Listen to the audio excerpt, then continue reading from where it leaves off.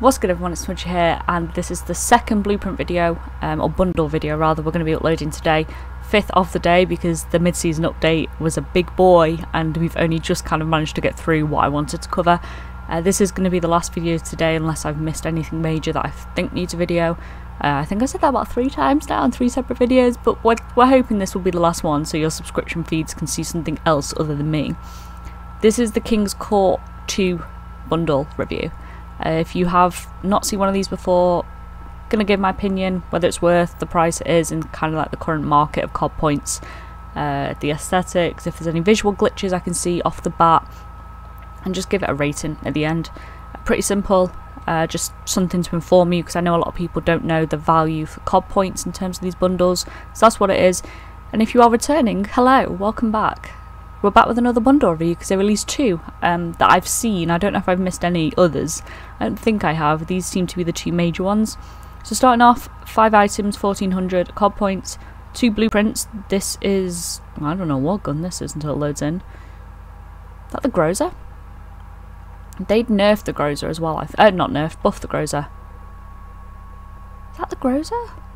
It's not the QBZ. I think it's the Groza, I might be wrong. Either way, pretty sleek, pretty royal. The only thing I don't like about it is the um, underbarrel foregrip with that like cushioning, uh, that red cushioning, that velvet. I'm not a big fan of that, but I like the detailing on the barrel especially.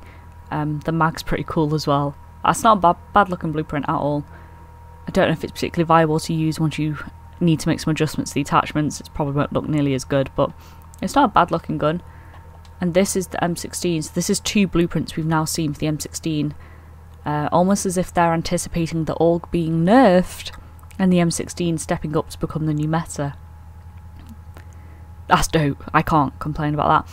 I hate the red detailing a lot less on this because it's in two parts. It looked a bit out of place in the uh, front grip for the other one. That's dope. I can't complain about that. I like that a lot charm calling card sticker and I said this in the last one charms calling card stickers emblems in terms of bundle assets don't really impress me too much. You're very much paying for these two items. I think anyone that disagrees um, is kidding themselves. Very few people will go out their way to buy a bundle uh, for a particular sticker unless it's a particularly innovative sticker in its design. A lot of people do look at the the blueprints only. So it's 1400 for two blueprints. The blueprints are nice. I can't I can't dispute that. I don't know if it's worth 1400 though. If, they've added this in to justify the 1400. It's a good looking bundle, but I think it's a rip off. Three out of five. I think that's what we're going with because it's good looking. It's a nice bundle, but it is a bit of a rip off because um, these don't really add anything. I, I don't know what else I'd want to see uh, in the current market.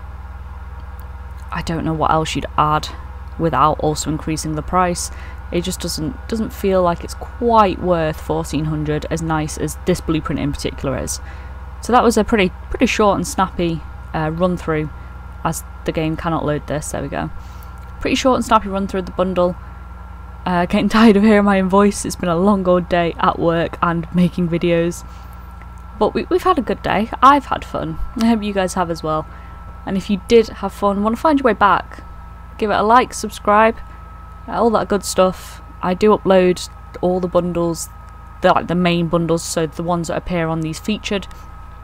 I don't tend to delve too far down into the depths of the store because God knows I'd be here forever and I just simply do not have the time for that. But, but we'll get the big ones.